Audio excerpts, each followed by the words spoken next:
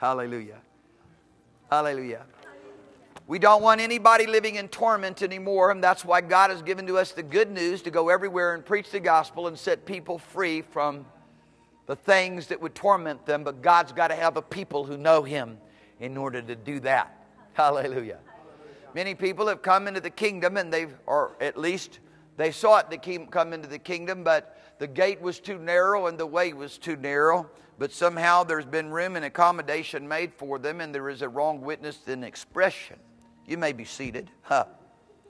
And here tonight, we're here to clear up some things for you. We're here to clear up some things concerning God's will for your life. We here in the mighty name of Jesus, hallelujah, to participate with the Holy Spirit to see everything made new in your life. Isn't that good news? Hallelujah. Have everything made new. We're here to announce to you this glorious good news that if any man be in Christ, he's a new creature, a new creation. Everything old has passed away, and behold, all things are new. And all things are of God. Isn't that wonderful? Isn't it amazing? It's amazing.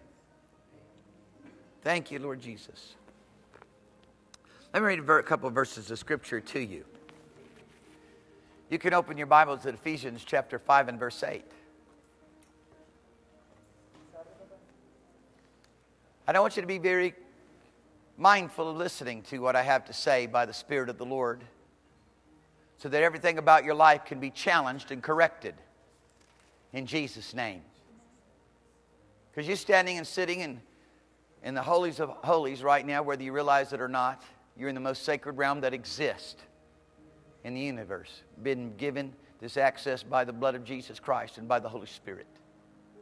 You once were darkness. Are you reading it? Some people think that I just say this out of my own mind sometimes. I want, that's why it's important for me make sure that I point you to the verse of Scripture. You once were darkness.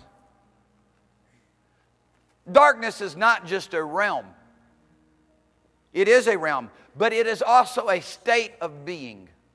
You once were darkness. See that? It's a state of being. Doesn't say there in that verse of scripture as it does in other places that we were under the control or the authority of the spirit of darkness. It says, You once were darkness, but now are ye light in the Lord. Ha! Wow. Walk as children of the light. God is the Father of light in whose there is no variableness nor shadow in turning. He is unchanging, He's immutable. He does not diminish, He doesn't cease for a second. It's the same yesterday, today, and forever. Woo! And I've been begotten of Him, and you've been begotten of Him, the Father of lights. Jesus came into the world as the light of the world. And I believe it's Matthew 5 17. He says, You are the light of the world. What an responsibility. 14, verse 14 of Matthew 5 14. Lungs de katana neke shibalatata kinesta. Somebody said, Why you speak in tongues in church? So I can remember the verses. so I can remember where I'm at in the get on the right page with the Holy Spirit and speak as an oracle of God, not after just something that I organized or fashioned out of my own mind. The Holy Ghost comes and He gives to us the ability to speak on the behalf of the living God. And now I'm telling you right now, I, I'm the first to say I certainly have no sufficiency of myself or ability within myself to ever think that I could speak on behalf of God. I need some help here. Paul said in 1 Corinthians in chapter 14 and verse 6 says, If we come to you speaking in tongues, we shall also come not only speaking to you in tongues, hallelujah, but also we come speaking to you by revelation, by knowledge, by prophecy, and by doctrine. That's just weird. I'm just going to follow Paul. He followed Jesus. He followed Jesus so well, the Lord said, just write all that down. Just write all that down. That's you got it right. That's it. Write it all down right there. See, Paul discovered a walk with Christ Jesus on the road to Damascus. Hallelujah. That every day he grew in. Hallelujah. And every day he developed it. Hallelujah. Thank you, Jesus. Great is thy faithfulness. Great is thy faithfulness. Morning by morning, new mercies I see. Thou changest not your compassions, they fail not. Great is thy faithfulness, Lord, unto me. Oh, great is thy faithfulness. Lord, great is thy faithfulness. Morning by morning, new mercies I see. As thou hast been, forever you shall continually be. Great is your faithfulness. Lord, unto me. Thank you, Father. Hallelujah. Thank you, Lord Jesus.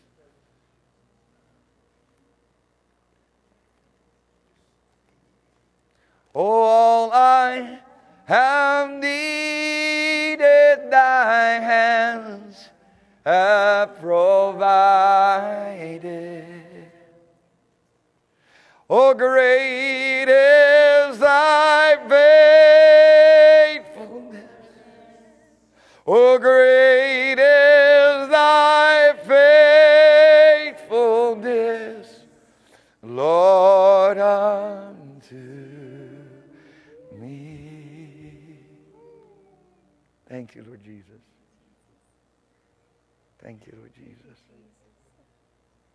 Father, I pray in Jesus' name that every one of your people come to recognize, realize how good you are, how wonderful it is to dwell in fellowship with you, how easy it is to do the right thing and refuse the wrong, to do the good and eschew the evil. How wonderful it is to live life in you rather than to choose death. Father, I pray in Jesus' mighty name that your church would begin to shine with the glory of your brightness, the glory of your light. That they would rise and shine, for truly our light has come. Truly your glory has risen upon us. In Southern California, in San Diego, in the nation of the United States of America is in desperate need of seeing again this great outpouring of your love, this great outpouring of your grace this great outpouring of your goodness. As in times past they saw, and men beheld your glory, and in awe of the display of your love, came rushing into the kingdom. Father, we pray to begin as it was, but even greater in the 60s, when suddenly the moving of your spirit captivated the hearts of a generation and tens of thousands and hundreds of thousands of people begin to line up at the door of the churches, hungry for the moving of the Spirit of the living God. Father, we pray again in this nation, the great outpouring of your grace would take a hold first and foremost in the hearts of your people.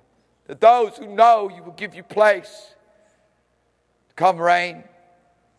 Everyone will come to understand, oh, great is thy faithfulness. Lord, great is thy faithfulness. A morning by morning, new mercies we see. You change is not thy compassion, they fail not. And as you have been, you shall forever continue to be. Hallelujah. It's so wonderful to just recognize that such a wonderful and loving and merciful God could be that unchanging, that glorious, that faithful, that merciful. Thank you, living God. Thank you, Lord Jesus. Now, I want you to look back at and with me again in Ephesians chapter 5 and verse 8, and I want you to understand a couple of things here.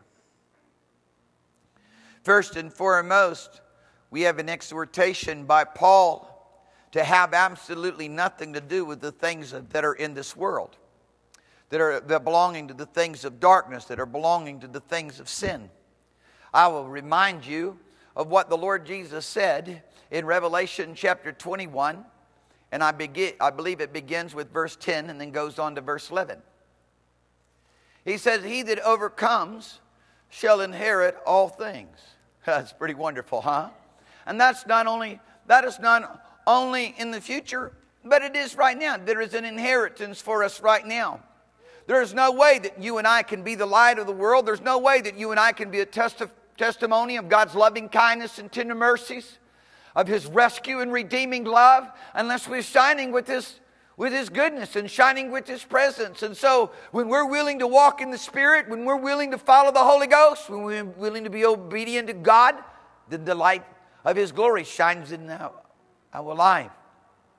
But when we give place to the powers of darkness, we've got to recognize that we're not inheriting all things. We look at the, the clear distinction in Revelation chapter 21, verse 10 and 11, verse 7 and 8.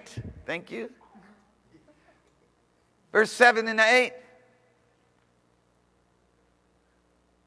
He that overcomes, I'm, I'm telling you, there's no question in my mind as to John's urgency to help people understand their need to overcome. There's, it was an urgency within John's life and in his message to help people understand the difference between truth and lie, between darkness and light. He was given the revelation. He's the one who saw on the Isle of Patmos all the things that were going to come down from the realm of darkness and from the realm of the satanic.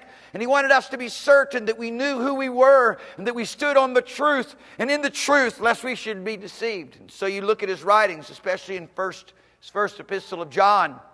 But not only there, also in the Gospel of John, second and third epistle of John. And then in his warnings, also as Christ Jesus spoke to him and he wrote him down in the Revelation chapter 2 and verse 3, and uh, chapter 2 and chapter 3, concerning the overcomer. He that overcomes the Lord, he said, Christ Jesus said, He that overcomes will I grant to sit down with me in my throne, even as I sat down with my Father in his throne. He that overcomes, I will give to him a new name that only he knows. He that overcomes, I will make him a pillar in the house of my God. He shall never go out anymore. He that overcomes shall be word that he be to, to be clothed in white raiment, he that overcomes. What a wonderful privilege. What a blessing to have the ability to overcome. And in 1 John chapter 5, he says, This is the victory that overcomes the world, even our faith, this faith that is in Christ Jesus, this transforming faith, a faith that made us a new creation a faith that brought us into a place of being baptized in the Holy Spirit, of being able to know God and walk with God, have the nature of God, and have our spirits joined unto God. We hear as Paul ministers to us about all the lust of the flesh and all the lust of the eye and all the pride of life as he breaks it down into descriptive terms and Ephesians chapter 5 and says that can't have any place in your life. Don't be deceived. Don't let anybody deceive you. Because of these things, the wrath of God comes upon the children of disobedience. A message that's over and again heard in the epistle of John, especially the first epistle. There come in the last days people who do signs and wonders and say that the Christ is here and say, and then, you know, profess to be prophets, and but they turn people's hearts away from the living God. Anybody who's doing anything in the name of Christ Jesus, that they're not bringing you to a place of consecration, a place of sanctification, a place of purity, a place of holiness, a place of living in the nature and the ways of God, there's error in their life. Be certain of this God demands that we be an overcomer, that we overcome all those things which are in the world, all those things which are the influence of demon spirits and the powers of darkness. Be certain of this. He that overcomes shall inherit all things. I will be your God, and you will be my son. But he says, without, outside of this relationship, outside of this place, there is every abominable thing. There is every unclean thing. There is everything my soul abhors. He says, outside of this place, without, on the outside, separated in that realm of darkness, in that place where demon spirits occupy the hearts of men. There are the porneos, which King James translated whoremongers. But sexual immorality rules, and I'm telling you, Satan has invaded humanity with pornographic things and sexual immorality. We were reading a professor from, I believe the professor um, was from University of Pennsylvania, feminist. She said, in our culture, our society, young men are demasculated by the time they go into first grade. Our society has no place for men to be leaders anymore. There is, there is, there is no clear distinction between gender roles have been completely switched. It's pretty radical for a feminist to be saying those kinds of things. She was describing in, a, in, in, in the most profane sense the condition of our culture, but it was something that she was boasting in a life turned upside down because God's people are not moving in the authority of Jesus Christ. They've abdicated. They've been consumed with self interest. They've been overwhelmed with their own discouragement. They've listened too, mu- too much to the voice of the enemy. They live too much in the realms of darkness. God says, You're not darkness anymore, you're light. Walk, therefore, as children of light. Jesus says, You are the light of the world, a city set upon a hill that cannot be hid. But we must be careful lest somehow we've lost our savor. Somehow we're not salty anymore. Somehow we don't make people thirsty anymore for the kingdom of God and for the things concerning righteousness, the things concerning the heavenly life. We somehow we got to make sure that the light that is in us is not darkness. For if the light that is in us be darkness, how great is the darkness? That's what the message of Jesus. Paul warns us there. He warns us very clearly in Ephesians. He tells us all of those things that belong to a realm of porneos, of sexual immorality, of uncleanness, of that which God's soul abhors.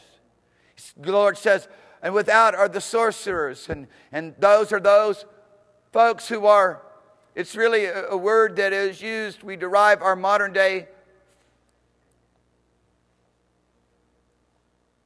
word for pharmacopoeia or pharmacy from this word that is translated sorcery is to be enticed or to make enchantments with the drugs. Colorado now has passed a bill and it's been legalized to sell marijuana as an introductory drug so that now, uh, I mean, forgive me, yeah, it's an introductory drug too. It's a recreational drug, it's an introductory drug to more drugs. People don't realize, they just think that they're just living in a, a world of no consequence, and they're going to partake of something that is going to give them a stimulus, some kind of a feeling and a sensation, and there's going to be no repercussions, and it has nothing to do with the spiritual realm around them. But in reality, they've opened up their soul, they've opened up their life to demon spirits. Huh. I believe the Vatican sent out a report just the other day saying there is more people seeking to be delivered from tormenting evil spirits than they've, than they've seen in modern times. People have gotten involved in various forms of witchcraft and various forms of the occult, especially as Harry Potter and all these other things have come along through the media um, making witchcraft and making various different forms of Satan worship, somehow appealing, glorifying that realm. And what happened is people unknowingly opened themselves up to the powers of darkness and demon spirits came in to occupy them with in force. Why? Because the church is the hinder of lawlessness has not taken its place and stood up in divine glory. They've allowed too much demon activity in their life through all the sin and the iniquity that belongs to the realm of darkness. And Paul warns us right there in Ephesians chapter 5 and 8. After he describes the darkness, he says, You are no longer, you once were darkness, but you're not anymore. You light. Walk as children of the light. When we look over in Peter's warning in uh, 2 Peter chapter 1, verses 10 and verse 11. I want you to go there with me and, and please look at this verse of scripture. I want you to remember these things. The Lord says to us, He says, give full, He says, rather, brethren, give diligence to making your calling and election certain. For if you do these things, you shall never fall. And the things that he's talking about that we need to be doing is being mindful and giving our attention to continually walking in the virtues of the Holy Spirit, walking in the fruits of the Holy Spirit, walking in the realms of that which is ministered to us by the Spirit of holiness. He says, Give all diligence to making your calling and election certain. Somebody said, I thought it was already a foregone conclusion. Well, not according to what Peter just said. He said, Give all diligence to making your calling and election certain. Because God has given to us the most wonderful, the most valuable, the most meaningful, the most glorious life, the greatest thing, the greatest opportunity. He that overcomes shall inherit all things. What riches! And now there's got to be a reality that strikes our heart that these are more important things than any possible thing that we could give our lives to. Someone was telling me the other day, they said, Well, you know, I wanted to learn how to play the piano, and I started playing about 15 minutes a day, and I got out about that much, and I said, You're not going to get a breakthrough that way. He says, You're right. He said, I gave up. He said it just wasn't coming to me. He said, but my wife, she took it up and she was doing it about two or three hours a day. I said, ah, she's playing now, isn't she? You'll get a breakthrough two to three hours a day. The same way goes with prayer. The same way, same thing goes with your attendance to these things that God has given to us of the riches of His nature, the riches of His life. Satan doesn't have the life against popular opinion. Satan doesn't have the good time. It belongs in the presence of the Lord at the right hand of His majesty, in that place that lasts forever, in that goodness of God, in those things that, that the world rolls their eyes at and cannot understand. You have to have a change of heart to begin to appreciate. Your hearts have been changed. You once were darkness, but now are you light. Walk as children of the light. He said to us, He said, if we do these things, He said, then an entrance shall be ministered un, unto us abundantly, an entrance into the everlasting kingdom of our Lord and Savior Jesus Christ. And to understand this in the context of which Paul said it in uh, Colossians 1:13, he said we've been translated out of the realm of darkness, out of the power of darkness into the kingdom of the dear son. But there's so many who have just fa- who failed to go on to know the Lord. They've been distracted with earthly interests, with the cares of this life, with the deceitfulness of riches. When we go on and we recognize those things that are separated from God, that are not inheriting those things which, which Father has, we see that in that lineup in verse 8 of Revelation 21, there's also the idolater there. Covetousness is the same as idolatry. There are many idols, modern day idols, that people have set up in their own self interest, things that they made more important than serving God and obeying Christ Jesus and walking in the Spirit. And you and I are going to have to deal with the reality of where we stand with God.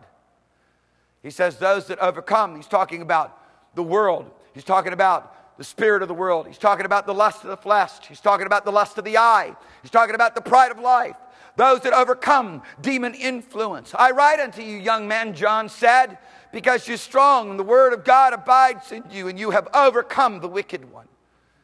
God has given to us that place.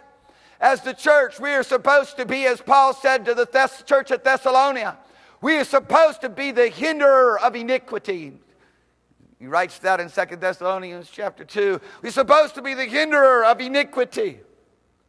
Those who stand back to hold back, rather, that which Satan would do is in his design and purposes to, to bring men into a greater state of immorality and a greater state of hardness of heart and a greater bondage of iniquity.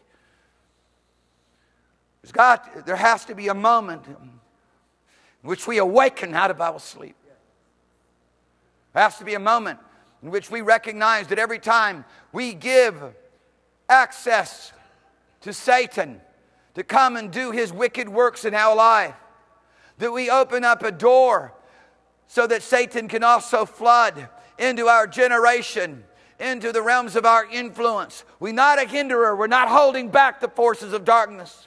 We're not those who overcome the wicked one. We're not executing authority over all the powers of Satan. We're not doing what Jesus told us to do going casting out devils, having authority over every unclean spirit tread upon scorpions and serpents and over all power of the enemy. Somehow we're going to have to understand that God's called us to a place of consecration unto Him, a place where only the Holy Spirit can influence our heart, our attitudes, and our emotions. We're no longer do demon spirits have the right to access us. We got to deal with the fact that John knew something that we do not know. We have to deal with the fact that John knew something that we need to understand once again. And he writes in 1 John 5 18, he said, Everyone who is born of God does not sin. That's what he said. That's what he said. And boy, does that ever go over like a lead balloon. Everyone who is born of God does not sin.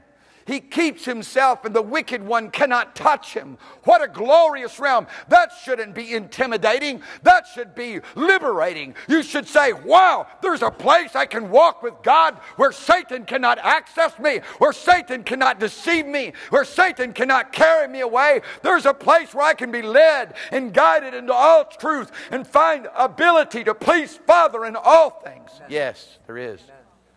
Yeah, there is. That's why Jesus suffered, bled, and died. That's why he bore our sins in his own body on the tree, so that now we could be dead to sin and begin to live unto righteousness, by whose wound we were healed. What a grace. But I'm telling you, we live in a day and a time and a period where seducing spirits wax worse and worse. Where doctrines of devils take a hold of men's mind. And though the Bible is very clean and clear in the distinction concerning those who know God and those who do not know God. Yet we allow ourselves to be deceived. We ignore it. We're caught away with worldly cares and earthly interest. I want to go back for just a minute and, and look here in Ephesians 5 and just help you to see once again. I just want to describe this to you. Paul says in verses 1 and 2, he tell, tells us to be imitators of God as dear children, to walk in love as Christ also loved us. As he offered himself as a sweet smelling savor unto God, so you and I, and I'm going to add this, I'm going to jump to Romans 12, 1. So you and I are to present our bodies a living sacrifice, holy and acceptable unto God, doing what is our reasonable service. Being not conformed to this world, but being transfigured by thinking different about ourselves. Hallelujah. Hallelujah. Or you can translate it being renewed in the spirit of your mind if you understand what that means. But if in layman's term, it simply means thinking different about yourself according to now, now what God describes you and I to be. Hallelujah. Uh, people want to go all the time and march around with the statement somehow that Adam's sin and his disobedience has a greater impact upon our life than the obedience of Christ Jesus. But that's not what Paul said in Romans chapter 5, verses 12 through 21. He said that the obedience of Christ has abounded far more unto it, to many, as many as would believe. Far more has it affected our lives than the disobedience of one by whom death came. I tell you, any doctrine that makes Satan stronger than God is a false doctrine. Any doctrine that makes the effect of Adam's disobedience greater than the effect of the obedience of Christ Jesus is false doctrine. I'm telling you, God wins every time. And everybody who puts their trust in Him will find themselves successful in the end. They'll hear Him say to the overcomer, Inherit all things. I give you all things freely to enjoy of my presence Oh, should that not be a pearl of great price? Should that not be to us this treasure hid in the field? To be able to have, to know the living God, to know the living God. I mean, to know Him personally. We were discussing the other day about Maria Woodworth Etter. She had lost many children. She was just a Catholic girl, and she lost many children to disease. And having lost these children to disease, she turned uh, in her suffering and in her agony to God to know the living God. She had been introduced to Jesus by some Pentecostals, and she began to lay hold on the things of the Spirit of the Lord. Now, you know, people get go through hard times, they go through troubles, troubling, troubling times, situations of death and, and loss, and they begin to blame God. a lot of people turn that way. But she turned in her pain and her hurts to know God, say, I want to know you, Lord. She laid hold of God in that desperation and she came to know the living God in such a way that she had visiting rights in the heaven. One day they brought her a boy, a young boy. What's that, baby? A young boy, seven years old, that was, she said, the most insane person that she had ever seen. And of course, back in that day, in the in the 20s, in the teens and in the 20s, this woman was having 20, 30, 40,000 people come to the meetings because the power and the glory of Jesus Christ was there. Somebody touched heaven. That's what happened. Somebody touched heaven. They brought her a young boy, a young boy, seven years old, completely, totally mentally insane, blind, born blind, born deaf, born mute. Mama Etter took him up in her arms and he was instantly made whole. He saw, he heard, he spoke. Completely a sound mind. That's why people came. Mama Etter was able to do that because she knew Jesus, because she lived in heaven more than she lived in earth. Father's looking for some people who'll be translated into the kingdom of the dear Son, who'll give all attendance to making their calling and election sure, so He can minister to them an entrance into this realm that has been given to all men everywhere. Anybody can come with the blood of Jesus. You can actually come. You and I can actually come into the holies of holies. We don't have to sing out of pretense and false tense. We can begin to lift up our voice and say, Lord, I come to you into the holies of holies, the holiest place of all, by the blood of Jesus Christ, and have a literal experience that we truly have access to the throne of grace. Hallelujah. I have access into that realm. Paul made it so real. he made it so real, you know. He said, We're seated in the heavenly realm. We're seated right now in the heavenly realm in Ephesians chapter 2, verse 6. I've got something I want to minister to you here, and I'm, by the help and the grace of God, and getting it set up, and I was getting ready to launch in, and And the Lord said, No, just finish five. Here, He says to us clearly, but fornication. Once again, that's that word porneus, same word translated whoremonger in Revelation chapter 21 and verse 8, translated fornication here, porneus. And yes, you're right to associate it with pornography. That is a demon stronghold that is designed by Satan himself to snare the souls of men. Because if I finish reading to you, the Lord says, continues on to go, those who overcome inherit all things. But without those who are not willing to overcome, those who continue to allow Satan to run over them and influence them, those who continue to participate with the realms of darkness or with the realms of disobedience, he said, including all liars, shall have their part in the lake of fire which burns with brimstone. All you can say is, My, how is God grieved by sin? Oh, my, how does sin so distress him? How does iniquity so affect him that he would create an eternal torture chamber to destroy it forever? Humanism says, nay, not so. A loving God would never do that. That's the voice of Satan. That's the voice of Satan. It's just like he cried out in Job, saying, No man down there wants to serve you. No, um, none of mankind follow after you. They follow me. And basically, his accusation, What are you going to do? God kill us all? Listen to him. Father says, I have one man. I have my servant Job. He's perfect. God names three men perfect in the Old Testament. Three men perfect. True. And don't you tell Papa he ain't right. Just because somebody misquoted Jeremiah chapter 17, huh? Just because somebody misapplied Psalms chapter 5 according to how Paul applied it in Romans chapter 3, just because people misapplied what Isaiah said concerning an incurable wound of a rebellious people. Hello, that has nothing to do with you and me who have been redeemed by the blood of Jesus Christ and filled with the Holy Ghost and been made a new creation, given a new heart and a new spirit, and He put His Spirit on the inside of us. What are you going to believe? Are you going to believe men's report? Are you going to believe God's report? Are you going to believe what demon spirits say about you? Are you going to believe what Jesus Christ has pronounced? Who has believed our report? to whom is the arm of the Lord revealed? He shall grow up among us as a tender plant out of a dry ground. Hallelujah. Christ Jesus, the Messiah. Hallelujah. Understand this fornicators, unclean people, uncleanness, covetousness. Let it not be once named among you that are saints. Hallelujah. You see that? Yes. Let me say it like this, because let me read it to you a little bit more in the distinct nature of the terminology used in the Greek language. Let it not be named among you who are holy ones. How many holy ones do I have in here tonight? I'm telling you, that's what God did for us. That's what He did for us. That's what He did for us.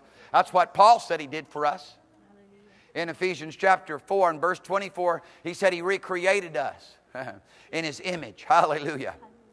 Hallelujah. Praise God. And righteousness and true holiness. Uh, that's what I'm going with. That's what I'm going with. And he says, neither filthiness, nor foolish talking, nor jesting, but rather continually giving of thanks. For you know that nor, no porneous person, no whoremonger, the Lord just named it over there, nor unclean person, nor covetous man, or idolater. Those are the things that are named there in Revelation 21 8. Remember? Remember? Almost in that exact order. Has any inheritance in the kingdom of Christ and of God. Let no man deceive you. One of the things that Christ Jesus ministered, one of the things that Paul was earnest about, and that John was most earnest about, was deceptive, seducing spirits waxing worse and worse as we approach the day of the coming of the Lord Jesus Christ, and many are swept away with it. People love the idea of taking all of their iniquity and walking into the church with it, and somehow having an insurance policy, and somehow, having, somehow having a conscience cure for their sin and their iniquity. no, sir. God delivered us from it. God delivered us out of the pains of death. God delivered us out of the power of sin and iniquity. God gave us the power to destroy all the works of Satan. Somebody's going to have to leave earth and start touching heaven. If we're going to see a revival in the church, if we're going to see a great awakening in this nation, somebody's going to have to start pressing in past all the things that would hinder us, all the strongholds of doubt and unbelief that would hold us back, all the yawns and disinterest. True. It's true. It's true. I'm just standing in the presence of the Lord. I'm going to tell you right now. Talk about adrenaline.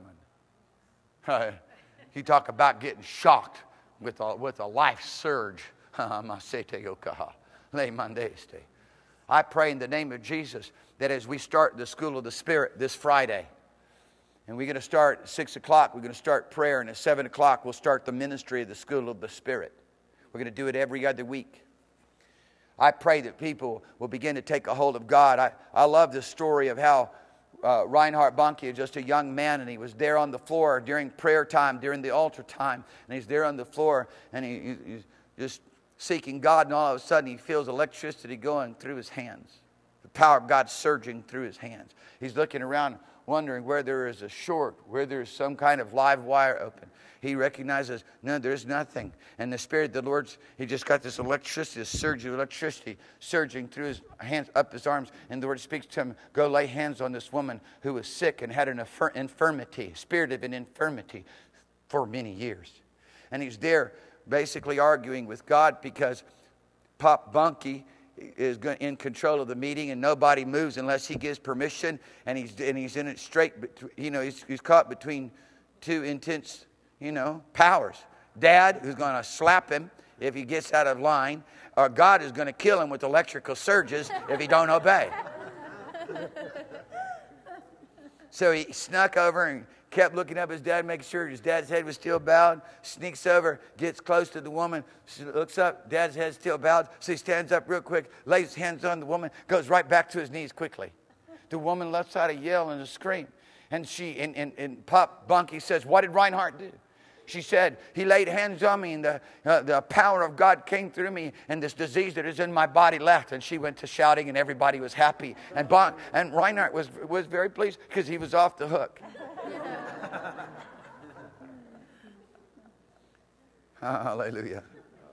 I want, I, want to, I want you to get in those kinds of prayer meetings. I want you to get, I want you to decide that you're going to leave being influenced and being attracted to the things that demon spirits are doing because what they do is you understand they neutralize you through their iniquity.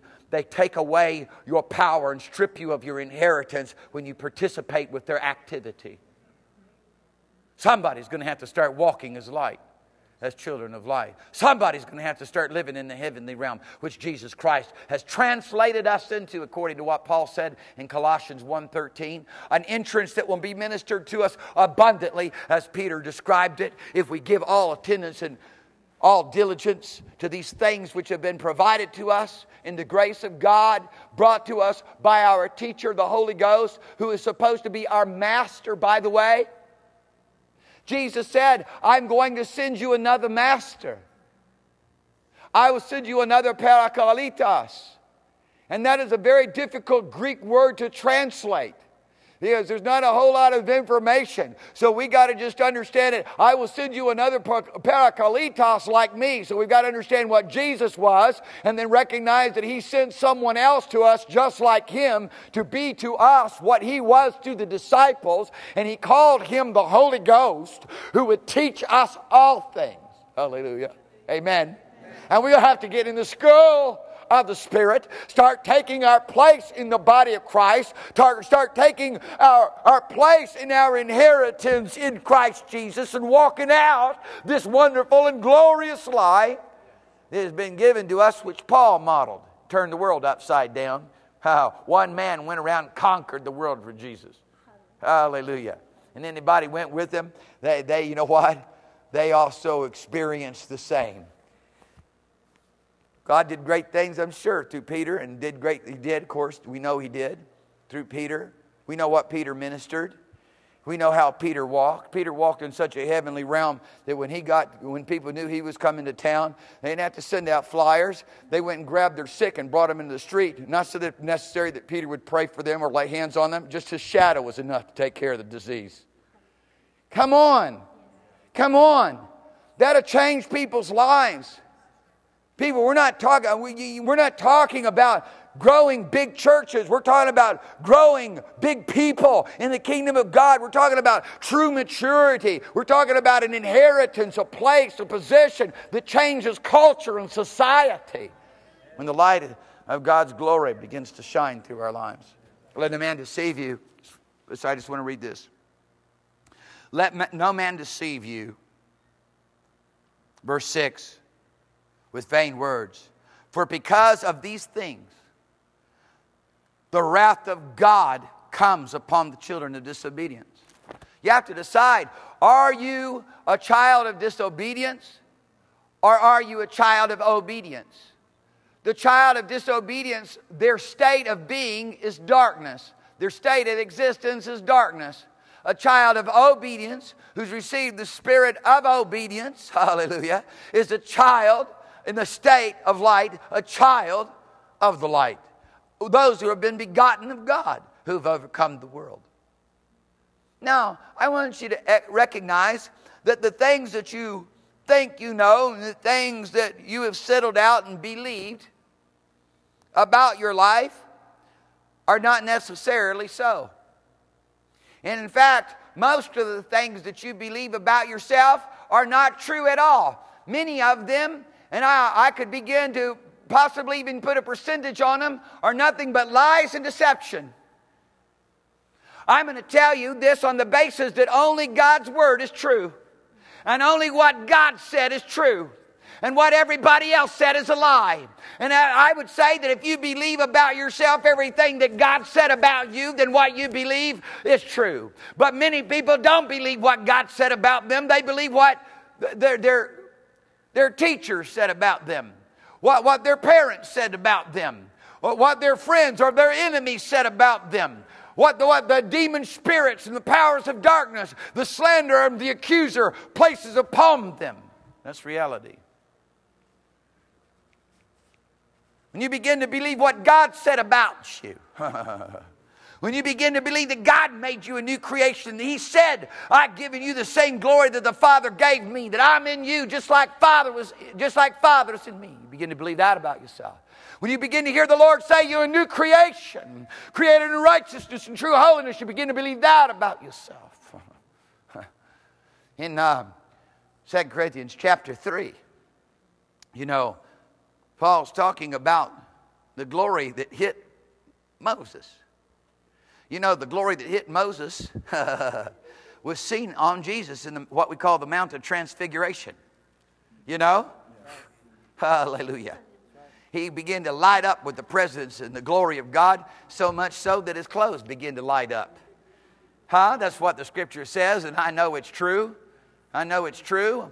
I'm convinced that everything in the Bible is true. It's accurate. It may be contrary to Newtonian physics. It may be contrary to quantum mechanics. It may be contrary to every kind of interest and thought and imagination and idea and concept that men come up with. But I, everything that you call reality is based upon what you believe to be true. What I believe to be true is the Word of God. For me, that is reality, and everything else is fiction. Everything else is a place of deception. Everything else is a place of illusion. Everything else is a place of influence by the God of this world. I'm telling you, if you don't realize it, the God of this world, the prince and the power of the atmosphere, saturates the experience of men. And Christ Jesus came to deliver us out of that realm and seat us in a place of divine glory so that you and I can understand what's really going on. So we can begin to have a grip have a hold of reality. You know, Moses' face lit up with glory. And uh, Israel, he said Israel put a veil on him, uh, put a parka over top of him. Huh? Hallelujah. Put a veil. Anybody got a scarf, or something? Put a veil over top of him. Why? Because what was coming off of his face, Paul said, was the new covenant.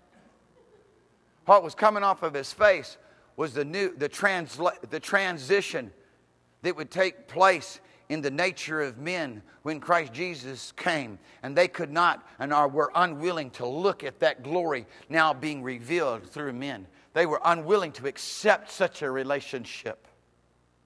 And then he takes us to a place in verse 18. He says, And now we take the veil off he now puts the veil on us. You see the transition? Go study that. And I'm not going to go into it right now, but go home and study 2 Corinthians chapter 3. There's a transition where all of a sudden the veil's on Moses to start with, and then, you know, a veil of deception is on Israel, and then all of a sudden the veil is on you and me. It's the veil that Moses had, and we take off the veil and we look in the mirror and we behold the glory of God. What are you going to believe about yourself? What are you going to believe? Listen to me. What are you going to believe? Are you going to believe that you've got to be sick? Are you going to believe that you've got to be diseased? Are you going to believe that you've got to sin every day? Are you going to believe that you're unrighteous? Are you going to believe that your heart is wicked and deceitful? And of course, Jeremiah didn't actually say that. People quote it. It's, it's sad. They quote something wrong and then misapply it. That is pretty delusional.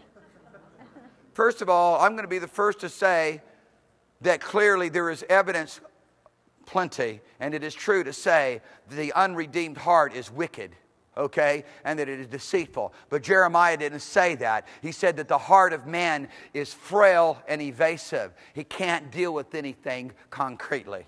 That's what he said. In the Hebrew language, that's what he said. In the King James English, I know he didn't say that. Are you listening to me? I just I prefer to study the Hebrew language and read it that way, and then I'm going to tell you. And then you can, and there's plenty of applications and plenty of software these days. All you got to do is point and click. you can find out whether I'm telling you the truth or not.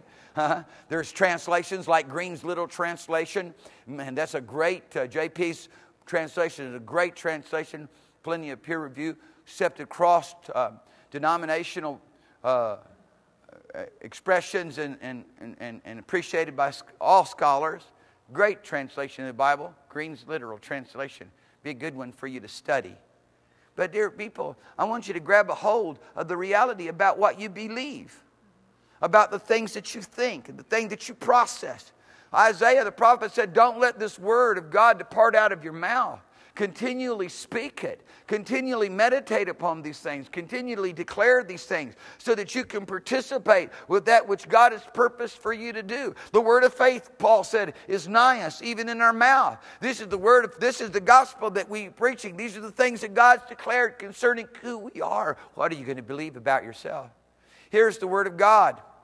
I'm going to just let my hand represent the word of God, the influence of the word of God the things that God says about you, the things that He describes. He says, he says, over here in the realms of this power and this authority, over here in the realms of Holy Ghost power, you can do anything. All things are possible to those that believe. He says, I tell you, I'll give you a power to walk on water. Man says that's crazy. He said, I'll give you power to raise the dead. Man says that's crazy. I'll give you power to cast out devils. Man says that's crazier. I give you power to live in authority so that Satan cannot in any way touch you or access you. Uh, Christians say that's impossible. God declares to us in His Word everything that is a reality and everything that is true. He lays out the basis of the whole world like this.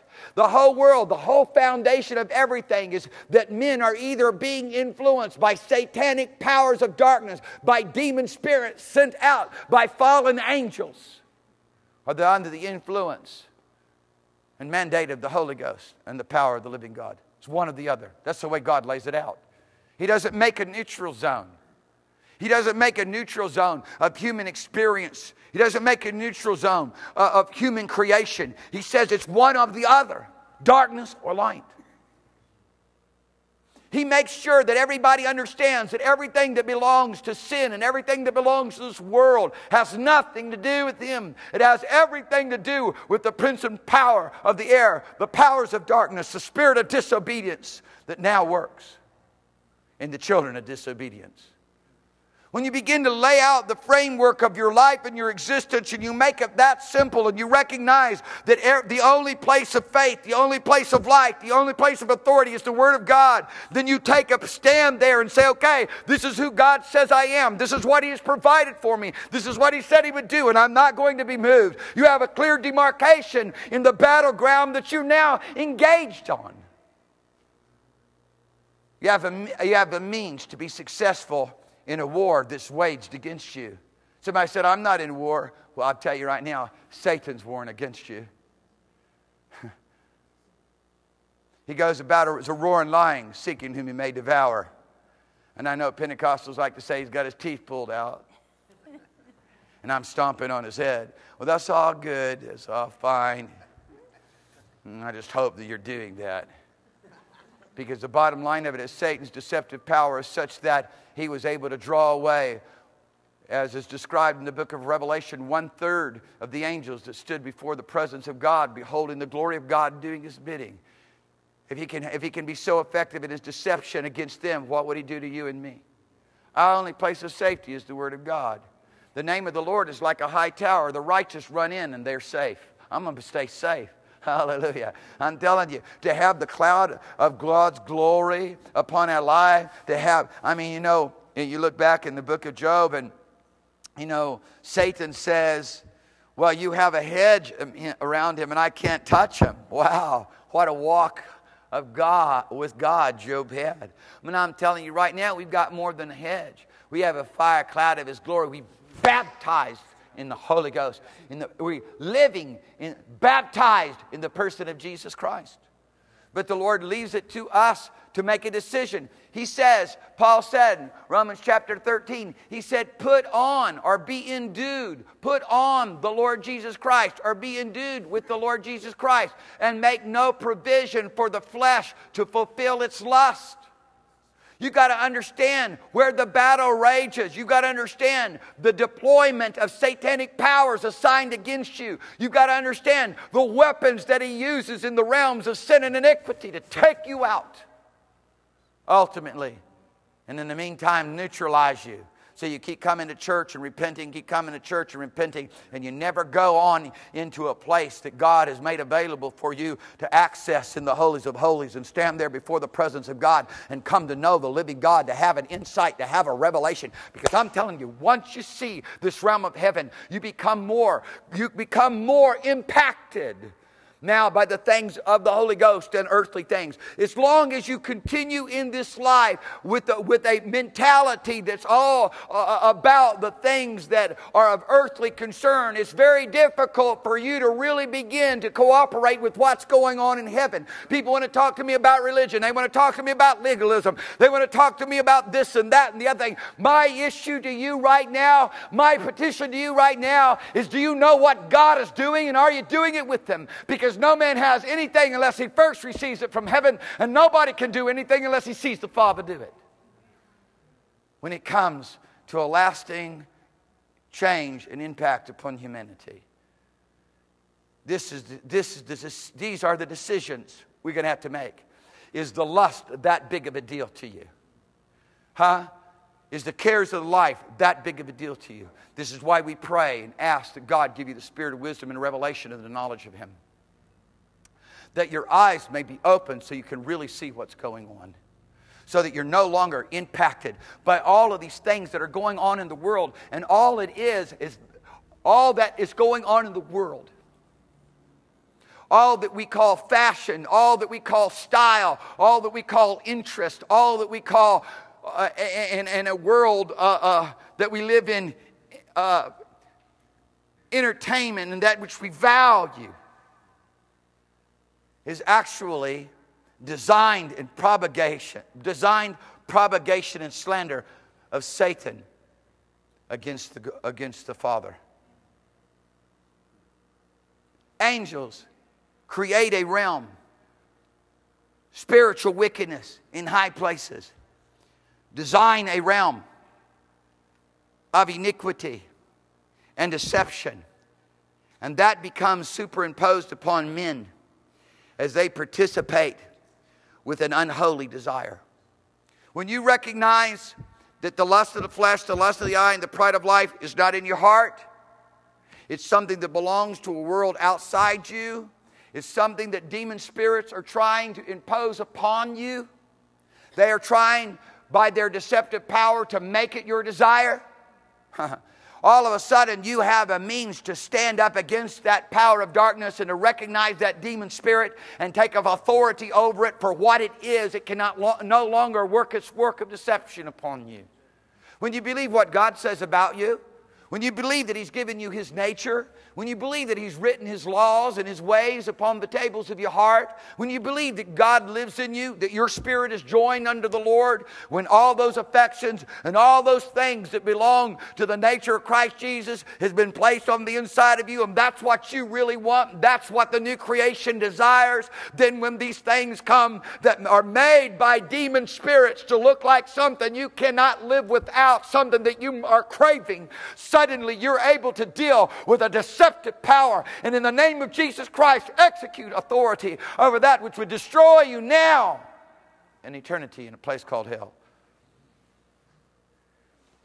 People are afflicted with all kinds of torment and fear, sicknesses and disease because they give they open the door to iniquity. Satan will access your life through sexual immorality and pornography, through fornication, more than anything else. I'm telling you, and that's why it saturates the culture and the society that we live in. It's his weapon that he's formed against you, and it's prospering. You can say all you want, no weapon formed against me shall prosper. You have to get yourself over the anointing for that to be true. Huh? Because I see people being taken out by the slightest little demon influence because they don't even understand. They're continually listening to the voices of slander and accusation that Satan propagates throughout the land, saying, Oh, the things that God has, they're disinteresting. Somebody tried to tell me the other day, well, I sit down and I drink alcohol because that's the way I'm able to go and minister Jesus to these people. My goodness gracious, do you actually believe that? Huh? And then going to go on and try to tell me how that Jesus turned water, water into wine. It was alcoholic wine. I said, okay, well, let's just consider this for just a minute. Okay, let's go with this. Eh, let's go with this and, and with your interpretation of the scripture. And, and the governor said that after men were well drunk. You ever seen somebody well drunk? Huh? After men were well drunk, intoxicated, now Jesus is going to make 120 bottles of better wine, more intoxicating wine, so people can get absolutely Huh? Smashed. That is nuts. That is nuts. Everybody agrees that it's a sin to become intoxicated. The issue of to drink wine or not to drink wine is not the case, not the issue. It's to become intoxicated because intoxication is a work of iniquity. It's a work of demon spirits. John said, "Let no man deceive you.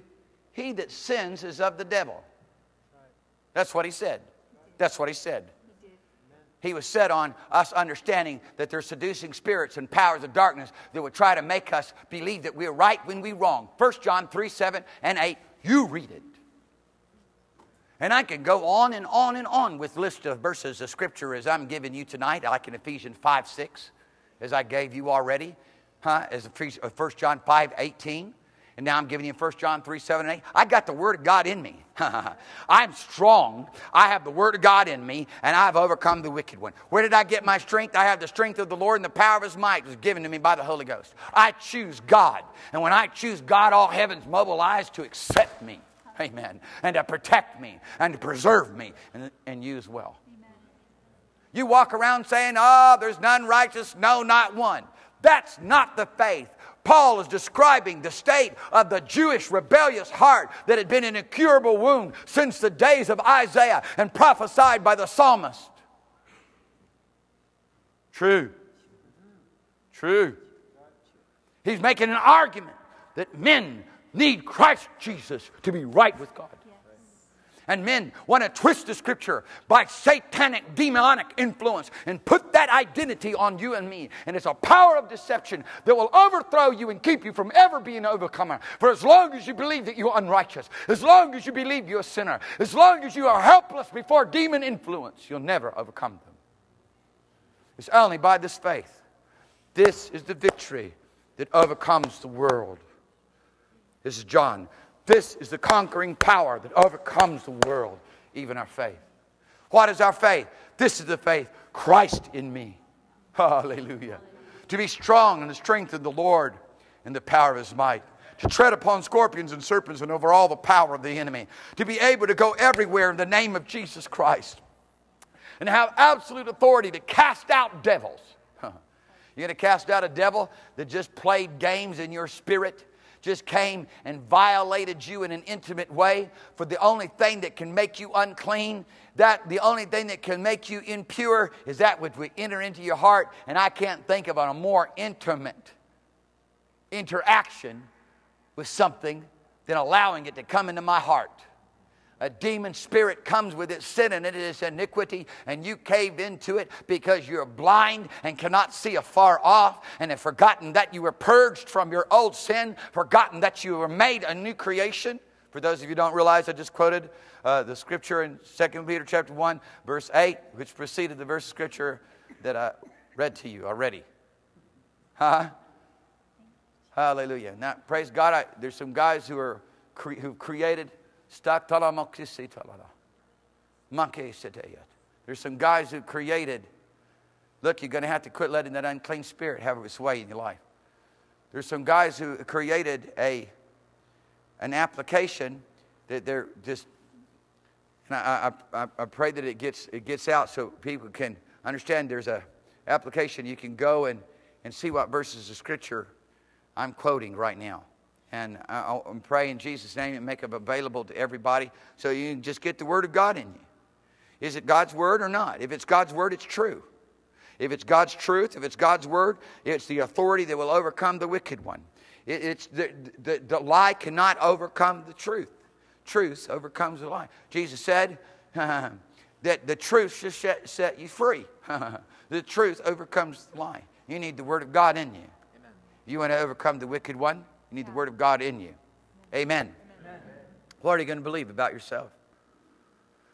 So many people have been so influenced by all these ideas the opinions of men, their own experience, the things that their friends and teachers have said about them, things that their ministers and leaders have said concerning their experience in God that doesn't line up with what God said. And then they take those things and they try to blend them with the Word of God. And they make the Word of God ineffective so that you don't see the power of salvation. You don't see the working, the demonstration of those things which God described in His Word. You know, we can see it work to a degree when uh, the disciples who had received authority and assignment from the Lord Jesus Christ to go raise the dead, cast out devils, cure the sick and the diseased. They come to a young boy who Satan would often come upon him, and when Satan would seize the young boy, he would throw him in the fire to try to destroy him or throw him in the water to try to destroy him. That's what Satan does. He just does it in different ways. He does it through various different um, actions and activities. And, and, and uh, for most people, it's not that intense, but nonetheless, that's the, that's, the, that's the demonic world for you right there. And the disciples wasn't, weren't able to cast out the devil. Somehow the word of God and the authority of God had been neutralized and had become ineffective. And if we look closer at that verse of Scripture, we'll see that what was going on was the disciples were interacting with the scribes and the Pharisees. They were getting, they were getting the opinion of the people who were blind, did not understand, and was guessing based upon their own perception and their own opinion and their own diagnosis of things. Back in those days, they believed as soon as it got to be a full moon, anybody who had any uh, susceptibility to demon spirits would start acting up because the demon spirits came out in the full moon and therefore he was lunar struck. And there's nothing you really could do about it. You're going to have to wait till the full moon goes away. what a diagnosis. and, the, and the disciples are going, Oh, really? Oh, really? Oh, really? So that's what's going on. And what happens now, Jesus comes and said, What you doing talking to those guys? What are you doing communing with them? What are you listening to their opinion, their doctrines, their ideas, their perceptions, their understanding? Listen, none of your perceptions are accurate. You should have already gotten beat up enough in school to recognize that. Hallelujah. Are you listening to me? I take another IQ test. Their perceptions just aren't really that accurate. Come on now. Come on now.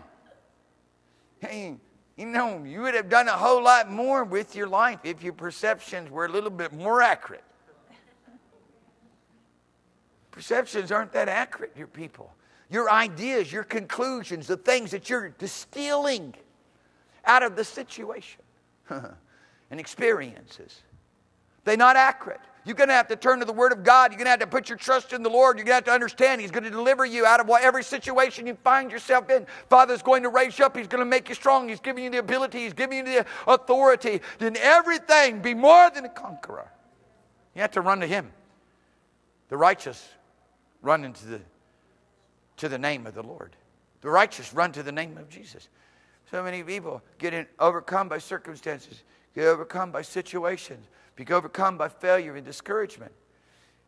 They don't run to the Lord Jesus with it. They run to earthly things.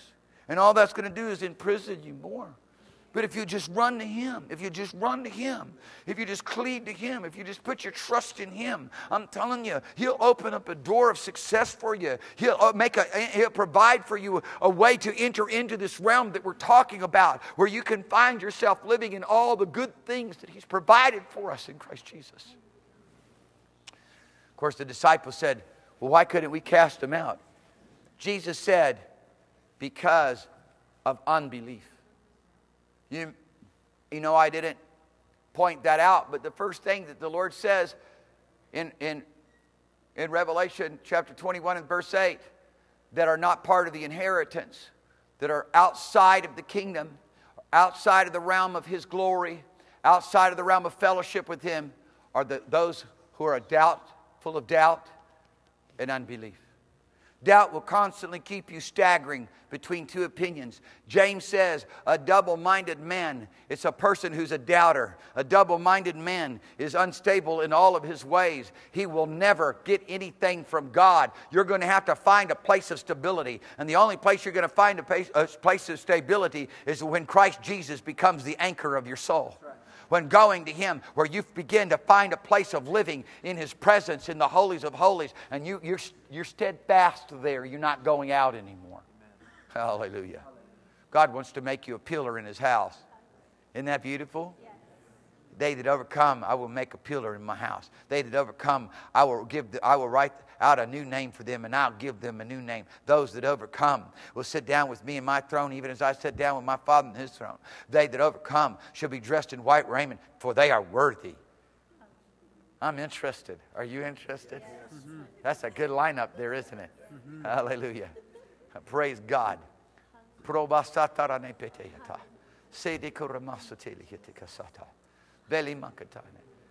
To understand you don't belong to Satan anymore. You belong to God. To understand, you're not a part of darkness anymore. You're part of light. You don't live in the realm of darkness anymore. You live in the realm of light. You don't live in the realm of Satan anymore. You live in the realm. You don't live in the realm of lies anymore. You live in the realm of truth. I want to learn the truth. Where is truth? Jesus said, I am the truth. I am the way. I am the light. No man can come to the Father except by me. He said, My word which I've spoken unto you, it's truth. My word sanctifies you and sets you apart. To live by the word. Understand, God took Israel through the desert, Deuteronomy chapter 8, through some very hard and difficult times, so that they could learn that man's existence wasn't just about an earthly existence of which you need bread and food for. He said he took them through a, a, a, difficult situation where they would have to learn to trust him and rely upon him so that they could understand that man lives by every word which proceeds out of the mouth of God. Now remember what Peter said. Peter said there in 2 Peter chapter 1, a little bit later on in the same chapter, he said, We were there in the Mount of Transfiguration. We saw the glory of God. We heard the voice of God. When he spoke, to his only begotten Son and said, This is my Son, whom I'm well pleased. Hear ye him. He said, But you have a more certain word of prophecy that you do well if you take heed unto as a light that shines in a dark place. His word is a lamp unto my feet and a light unto my path. There's only one way to know what is really taking place in your life. There's only one way to really know what's taking place around you. There's only one way to be certain that you're not being deceived, and that is to give place and give heed to the Word of God, for it's breathed out by Him. It's those words which proceed out of the mouth of God. Scripture tells us that after Jesus was baptized in the Jordan, and baptized not only in the Jordan in water, but immediately baptized in the Holy Ghost. Hallelujah. Spirit of the Lord came upon him and remained. That's what it means to be baptized in the Holy Ghost. That's the way it's supposed to be.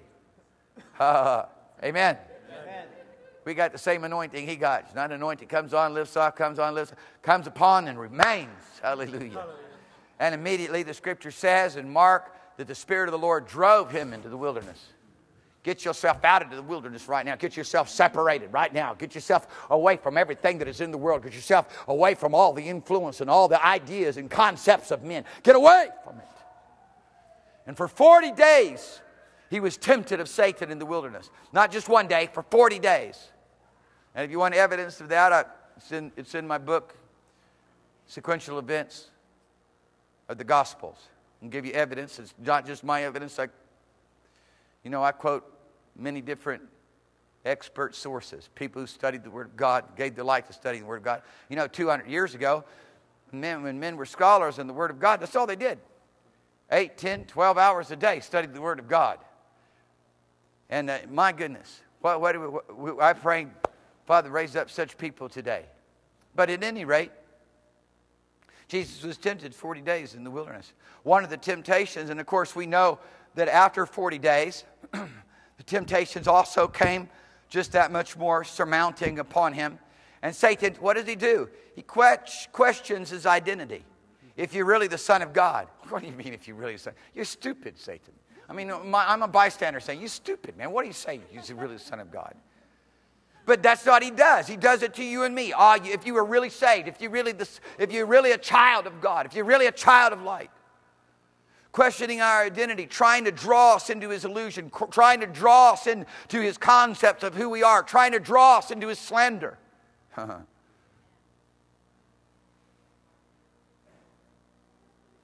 That's why we need watchmen over our soul. My wife said, My goodness, wouldn't it have been great if Adam would have been a true leader and walked over and slapped that apple or whatever it was out of Eve's hand? Said, What are you doing, woman? Huh? If he had been a man stepped up to his place, things had turned out different. we need leaders in our lives. Say, hey, what you doing? Somebody said, you can't tell me what to do. Well, I'm a, you know, I'll tell you right now, that may be true, but I'm going to scream and holler and try to prevent you from going to hell with everything I can. Uh, I'm going to do all the slapping I can. Scripture says, let the righteous smite me. It'll be a help to me. Uh-huh. Someone said, if you, if you do it differently, you'd have a bigger church. I'm not interested in a and, and, numbers. I'm interested in the bigness of the presence of God because you got a bunch of people who are willing to walk with God in spirit and truth, willing to do that which is right in the sight of the Lord, willing to be salt, willing to be the light of the world, willing to be the church of the Lord Jesus Christ, the members of his very body placed into a, a, group and an assembly by the Holy Ghost as He wills and as He determines is right, the rightful use of our lives. Oh, oh, that the church of Jesus Christ should rise again. Yes. Of the purity of Christ Jesus and the beauty and the, pre- the presence of the Lord should captivate the hearts of men. They would want to live for Jesus and live in a heavenly realm rather than live in their own interest and be continually taken by every whim and will of Satan. Satan says, if you be the Son of God, if you, want, if you are who you say you are, turn these stones into bread. There's all these influence constantly coming. There's all these ideas and all these suggestions. And until you begin to walk with God and bathe yourself in the Word of God and give yourself to a place of coming under a continual influence of the Holy Ghost, you have no ability to discern these slanderous, accusing words of Satan that has come to deceive you and carry you away and influence you and neutralize you and keep you from living by the Word of God. Jesus simply just says to him, Man does not live by bread alone, but by every word which proceeds out of the mouth of God. That's how you live. You want to understand how to live? You want to understand how the spiritual life works? The spiritual life lives, the spiritual life grows, the spiritual life matures because the spiritual life is fed by the Word of God and only lives and only exists by the Word of God. God wants you and I to walk in the Spirit. If we're going to walk in the Spirit, we're going to live by the Word of God. If the Word of God is going to be everything that we believe, it's going to define for us reality. That's it. That's it really becomes a hard situation when you read a scripture like, Let not the inhabitants of the Lord say, I'm sick, and all of a sudden, you're feeling really sick. And your throat's sore, and your nose is all clogged up, and you're achy all over. Uh, let not the inhabitants of the Lord say, I'm sick. Now we're in some trouble. Huh? Because the Lord promised to heal all of our diseases. Just as sure as He's cleansed our iniquity. Huh? You, okay, I prayed. Now where's the medicine cabinet? Where's the night NyQuil? Well, I tell you, if you begin to stand in the Word of God and count God faithful, and you begin to press in and know that there is a provision for your health, you'll discover a realm of living in divine health. We just had the Makoto family come from Japan, pastors there pastored for 30 years in Japan. He came to Japan. He was in a meeting uh, that we were in in Tokyo. He came up, he was sick. And I said, From now on, you live in divine health. Power of God touched him. He got healed. And he's so interested in understanding how to stay healed, live in divine health, he decided to take his vacation, come here and meet with me, and I left. because I had something else I needed to do. But I spent some time with them. He got to spend some time with Geneva. He just, I said, it's not me that you're seeking. It's Jesus. I got to go. He'll stay with you. Ha. Ah. ha. Ah. It's not me that you want. It's the Holy Ghost. All I did was deliver to you what God says in His Word. And you got touched by the power of it, and you're, you're all interested in knowing how to continue in it. Let me tell you, has nothing to do with me. It has everything to do with your relationship with Jesus Christ. It's everything to do with your walk with God. Praise the name of Jesus. Our Father wants to teach you that there is only one truth. And all these ideas and all these concepts aren't true. If you take a hold of His Word and begin to live by His Word, you won't veer to the right or to the left. You learn how to walk with Him in obedience to His Word, believing those things which He said about you. You go look in the mirror, what do you see? I look in the mirror, I see the glory of the Lord. I see a place, a tabernacle where the Holy Ghost dwells. Huh? I don't see some ugly mug. huh? Huh? Huh? Huh? Hallelujah. I, I see what God has created. I see I take care of his body. You know, we clean it up. Praise God. Then, uh, it's his temple, though. It's his. It belongs to him. He said, It's his. He said, told me, he said, It's not yours. He said, you, uh, You're my purchased possession. I bought you. I redeemed you. You're not your own. You belong to me. Therefore, glorify me in your body and your spirit. I believe that. I recognize I have no right to do with my hands what I want to do with them. They are the servants of the Lord. Romans chapter 6 declares to us clearly that our, our, our hands, our, our members now are weapons of righteousness. Hallelujah. Once they were instruments of sin and iniquity. Now the instruments or weapons, literally is the word. Weapons of righteousness. Right now, our life is to be uh, slaves and servants of righteousness and have our fruit unto holiness and the end thereof, everlasting life. Ha! Hallelujah. Right? That's what God said. That's what God said. That's what God said in Romans chapter 6 and verse 22. Amen. I'm the righteousness of God in Christ Jesus. That's what God said. Second uh, Corinthians chapter 5 and verse 21. I'm the righteousness of God in Christ Jesus. Hallelujah. He became the sin offering for me that I might be become that I might be the righteousness of God to him. Hallelujah. Living in Jesus. Somebody said, Well, that's not reality. That's not the way it goes down around uh, here. That's not, that's not the human experience. Human experience is an illusion, it's a deception. It's a realm impacted and afflicted and overwhelmed by the conversation of Satan. I'm praying for everybody sick and diseased in their body tonight. And I believe in God you're going to be healed.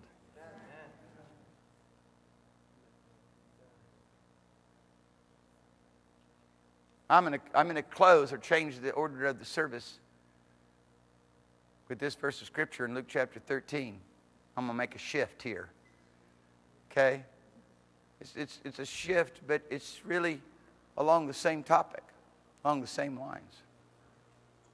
And I don't know where my Bible is. I've left it somewhere. It's a good thing I have it in my heart. I was prepared if I was ever put in prison, I can write out the scriptures. I gave myself to memorizing the Word of God. Somebody said, I don't have a good brain. Somebody lied to you, and you believed it. Huh? I'll tell you right now, you begin to read the Word of God, and the, script, the Scripture says the Holy Ghost will bring it to your remembrance. Hallelujah. How many of you have a 15 minute commute or more to work? 15 minute, 15 minute commute or more to work. Write out a verse of Scripture on a piece of paper. Memorize it on the way to work. The Lord will protect you. You'll glance at it less than a text. Huh? Are you listening to me? Yes. Next day, write out another verse of Scripture with it. Before long, you'll have whole chapters. And then you'll have whole books of the Bible laid up in your heart. Deceiver comes along to deceive, liars come along to lie. The Word of God's there protecting you. It's a shield. Shield of truth. Huh? I got a breastplate of righteousness. I have a shield of faith. It's called also a shield of truth. People start saying things, verses of scripture start popping in my mind. Father, keeps my heart with all diligence. Amen. Hallelujah. I'm not interested in what the devil is saying. Somebody said, I'm going to send you an email and tell you what I think. I'm not going to read that email. I get discernment over emails. They're like, is this a complaining email? Email? Email? I had this one titled, I'm a prophetess. I just deleted that one. if that's the introduction, I don't want to have a, I'm not interested. I'm not interested. Just delete. I'm not interested in what Satan's got to say. Uh, his lie and accusation try to discourage us, huh? Try to berate us, huh? Try to God, accuse us. God is not doing that. God, the Holy Ghost, come comfort us. Praise God. Jesus interceding on our behalf. He's telling us, get the job done. He's saying, get it done. he, said, I'm giving you the ability to go everywhere and preach the gospel. All authority is given me in heaven and earth. Go! All authority is given to me in heaven and earth. Go! Go! Go in my stead. Go on my behalf. Go in my anointing. Go in my power. Go in my ministry. Go and do these works and greater works. Amen. Amen. We're getting ready to invade China with literature. I called up a friend of mine this morning. I said, Look, I said, there's a bad situation in, uh, forgive me, Japan. I said, there's a bad situation in Japan. They have very little uh, uh, uh literature about flowing, operating in the Holy Ghost. So we got to start putting things into Japanese. He said, I already have some books in Japanese. I said, well, send them. Let's get them over there. He said, I'm sending them right away. If you're watching right now, get them in the mail. Whatever. UPS, FedEx. We're going to start doing one of the things that really captivate the hearts of the Japanese people are cartoon characters. And we got a bunch of folks who are good in art, we're going to get them fixed on doing uh, cartoon characters after the fashion of that which the Japanese like. But we gospel messages, and we're going to get the thing sat. We're going, to, we're going to saturate the place. Hallelujah. We can go over there, and we're going to start with a crowd, outdoor crowd of about 500 to 1,000 people. And then over time, over the, over the next couple of years, we're going to build it to 60,000. Amen. Amen. Amen. We're, the Lord has just told me to focus on, focus on this city this year. And so we're going to run after the city uh, like never before. We're going to go running after the lost. We're going to see a thousand people come into the kingdom eh, just here in this, within this next 12 months. Watch what happens. Watch what happens. We, the Lord's just asking for a tithe of your time. Uh, two and a half hours of your time every day, a tithe of your time. And He's going to take it and He's going to bless it in such a way that you'll be able to look back on 2014 and say, That was 12 months. That was a time of my life that I gave everything to the kingdom to do the work of the ministry, to follow Jesus and reach the lost. That's what's going to happen for you 2014. It's going to set you up for the rest of your life. Praise God. Hallelujah. Praise. I was just so blessed. Amen. Amen. Give a shout. Give a clap. Praise the Lord. Hallelujah. Hallelujah. I was so blessed by Joseph sharing last Sunday.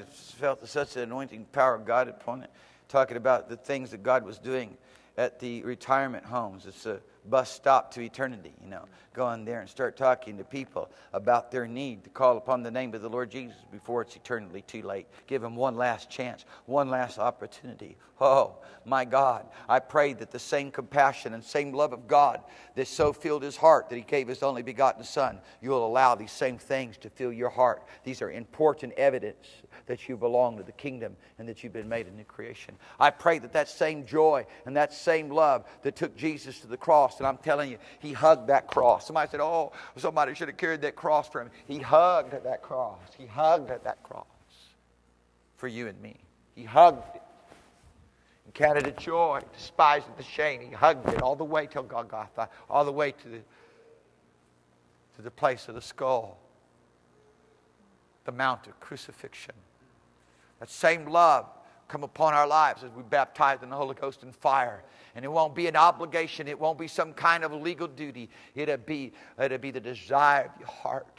It'll be, it'll be the passion that fills your soul as we were singing tonight. It's the fire of God in my bones. It's the fire of God in my heart and in my life. I love that song, man.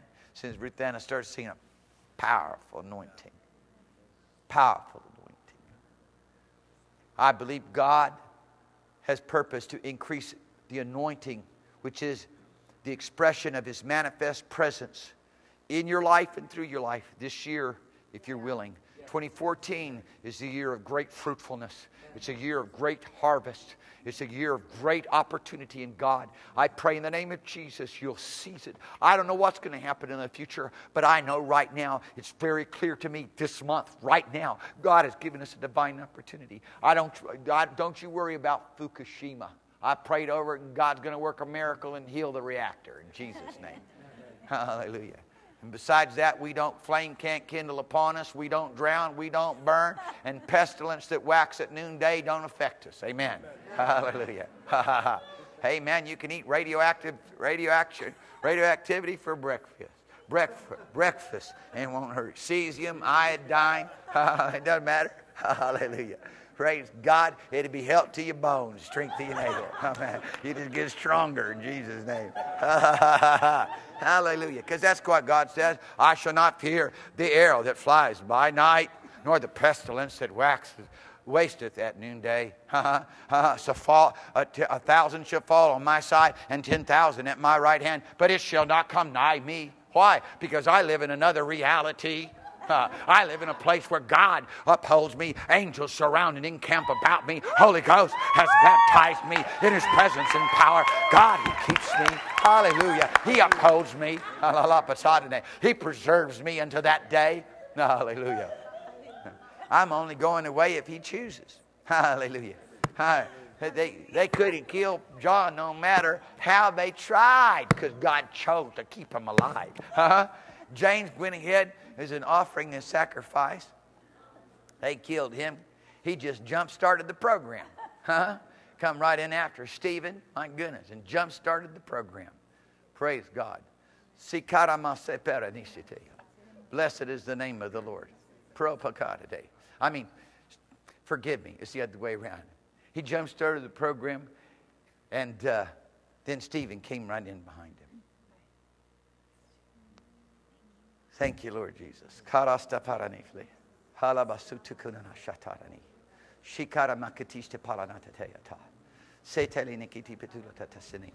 I'm going to give you the interpretation in a minute. Just hang on.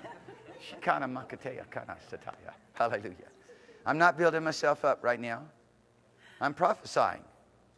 Hallelujah. I'm going to excel, you know. Tongues are supposed to excel.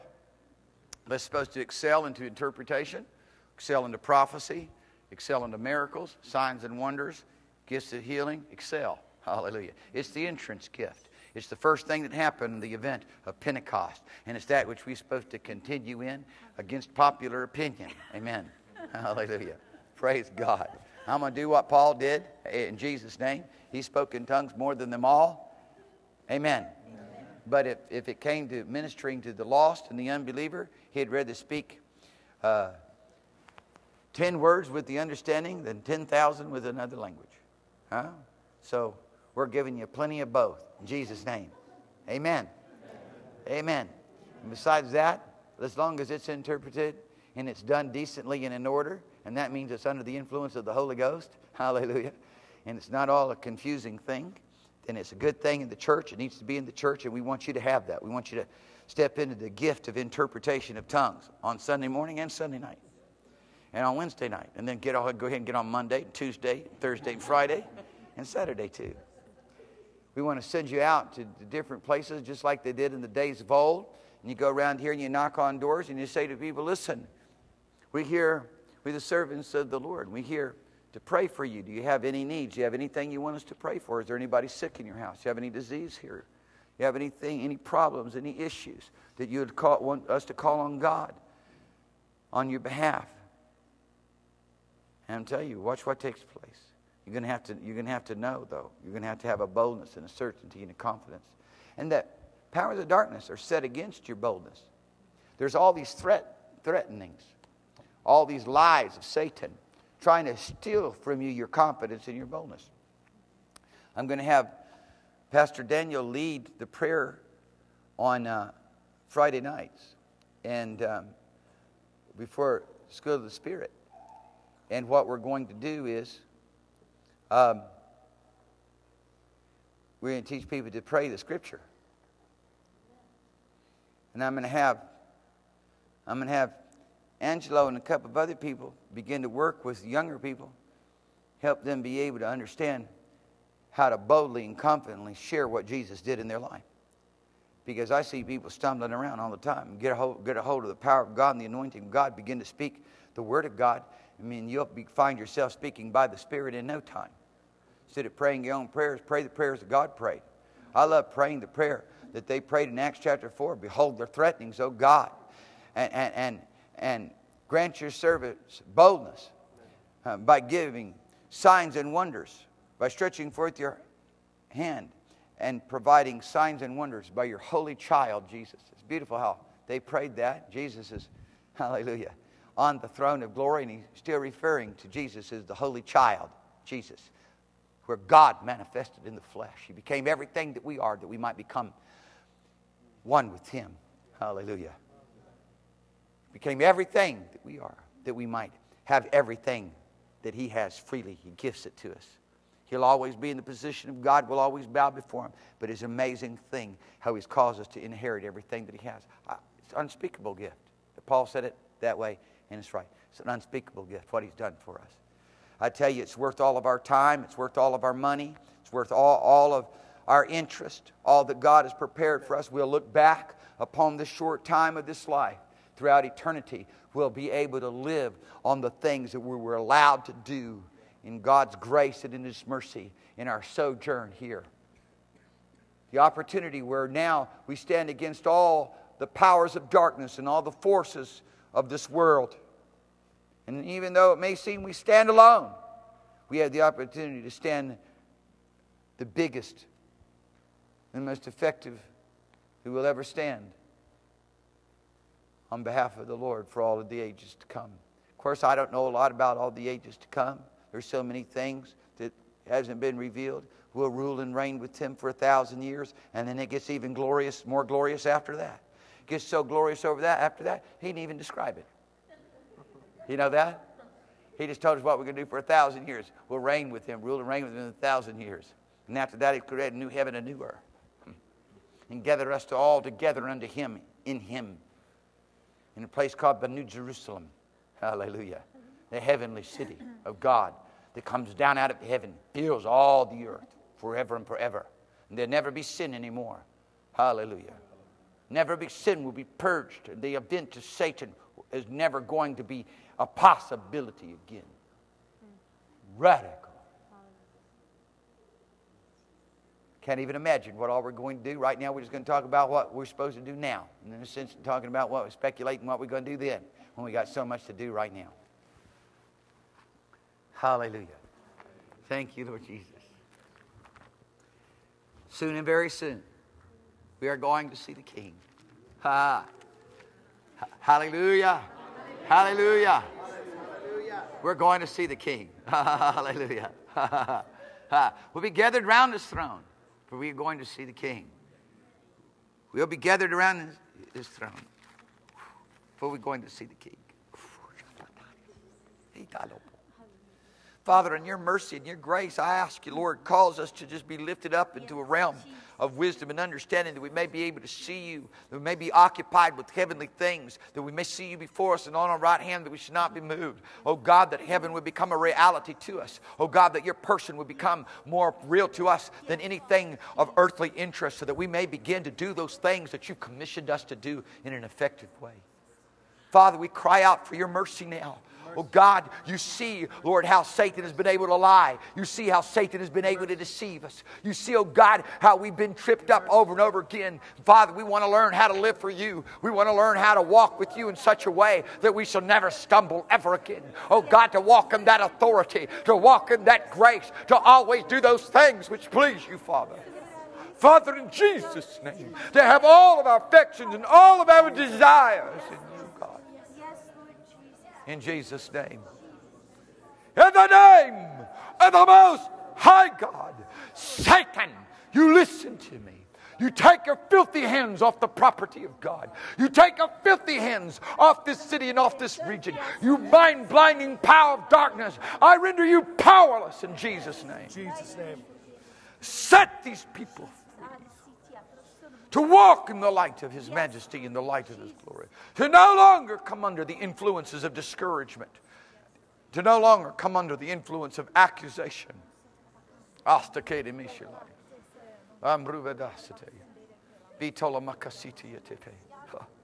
Susatu Yana Mahatate. Sia Putana Mahata. Sia Promapati. Isutolo Ukerasare. Ifrinasate. Thank you, Lord Jesus. Let me just, I want to close with this verse of scripture here in Luke chapter 13. And, and I just want to start in verse 10. And Jesus was teaching in the synagogue on the Sabbath, and behold, there was a woman which had a spirit of infirmity, 18 years. I want you to look at how Satan works. He is the author of sickness and disease. He's the one who places sicknesses and diseases in our body in many different ways, in many different forms. And we're just going to have to stop trying to normalize it and make it a virus and make it a bacteria because you don't even know what that is, anyways. True. Are you listening to me? Yes. And especially when it comes to virology, that is a sticky subject. And bacteria is just as weird.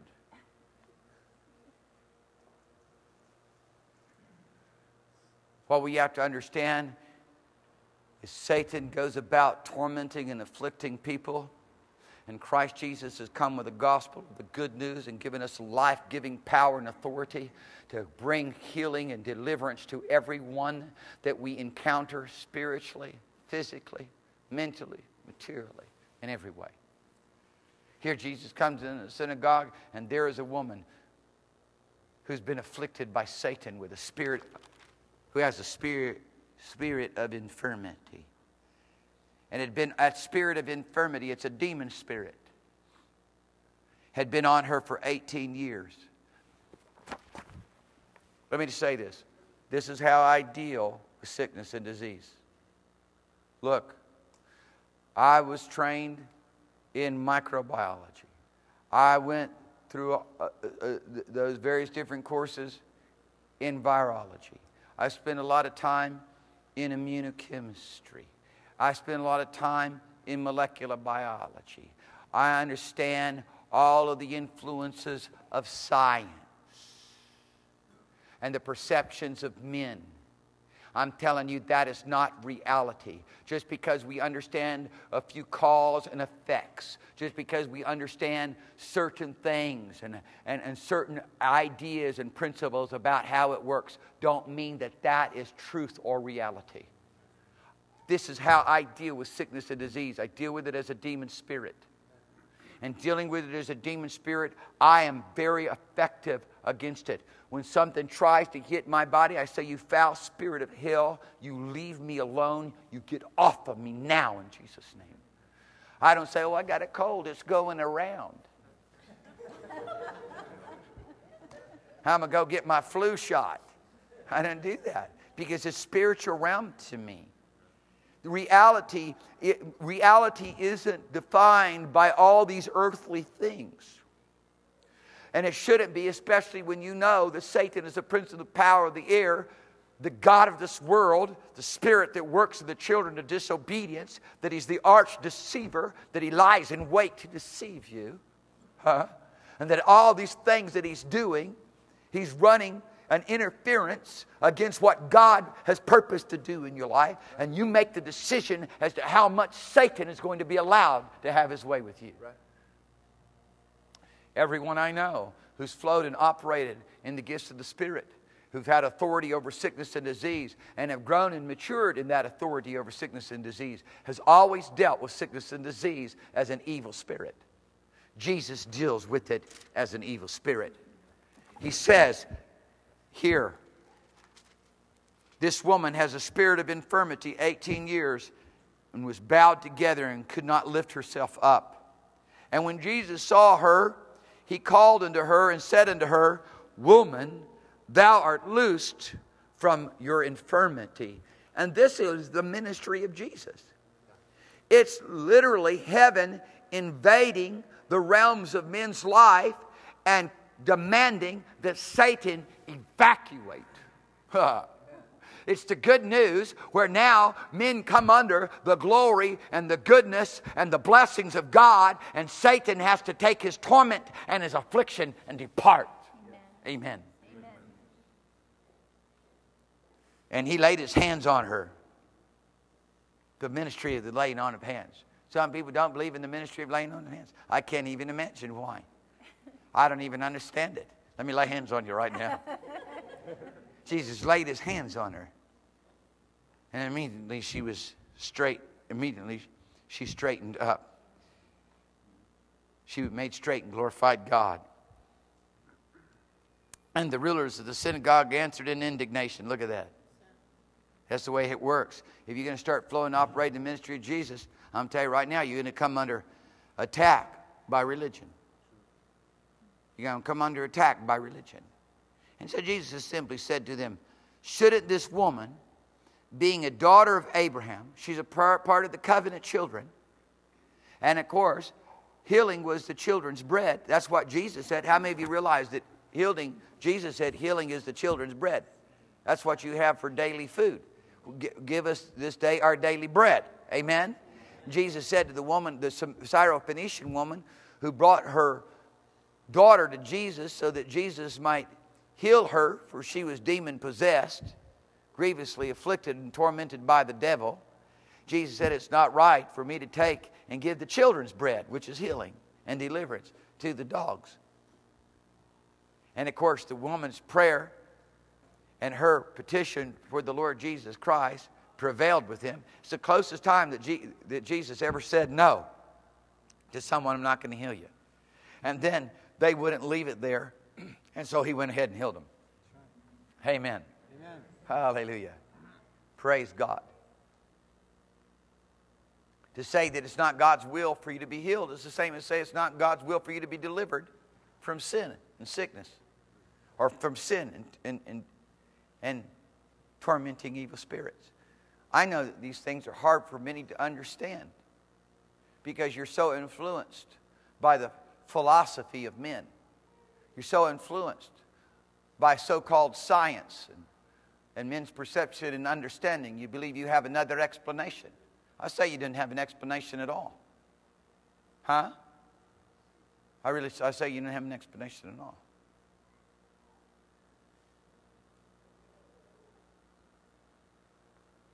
I tell you right now, God alone has the cure. God, only, God alone has the lasting cure. And when He sends out His servants to go and do His work on His behalf, the first thing He does is give them authority over unclean spirits to cast them out. Jesus said, Should not this woman, being a daughter of Abraham, who Satan hath bound, these 18 years, should she not be loosed? When I see people being tormented and afflicted, first thing I feel and I'm overwhelmed with is the compassion of the Lord Jesus Christ. They can't remain in that state. We went to the fair this past year. First time we went to the fair, I don't know, maybe 20 years or something like that. Did a family day at the fair, and I was just I was just captivated by all the people that needed to be healed. I saw a child in a wheelchair, and my heart was overwhelmed with compassion for the child. The child was severely mentally affected, couldn't keep his focus. I wanted to go over there and hug that child. But recognized that there was no opportunity for me to be able to do such things. I'm walking around, I see people walk by me, I know they've got drugs on them. I know one person walk by me, spirit of violence. See people walking by, seeing all these things going on, demon activity in their life. But for me, those are the most important words of knowledge. Huh? To know what's going on, what Satan's trying to do to destroy them, to understand the call of God for their life, speak the word of life and deliverance to them. And I'm purposed that here this year in 2014, that there would be an atmosphere of faith. See, if we begin to praise God in the, His sanctuary, in the atmosphere of His power, suddenly things around us will begin to change. If, if you're not going to allow Satan to neutralize you anymore, you're not going to allow Satan to invalidate your authority, to try to steal away from you your inheritance, where you can begin to come boldly and confidently by the blood of Jesus Christ into the throne room of God and stand here in the holies of holies with a clear conscience, with a clean heart, with pure hands. Hallelujah. Uh, with pure heart and clean hands, either way.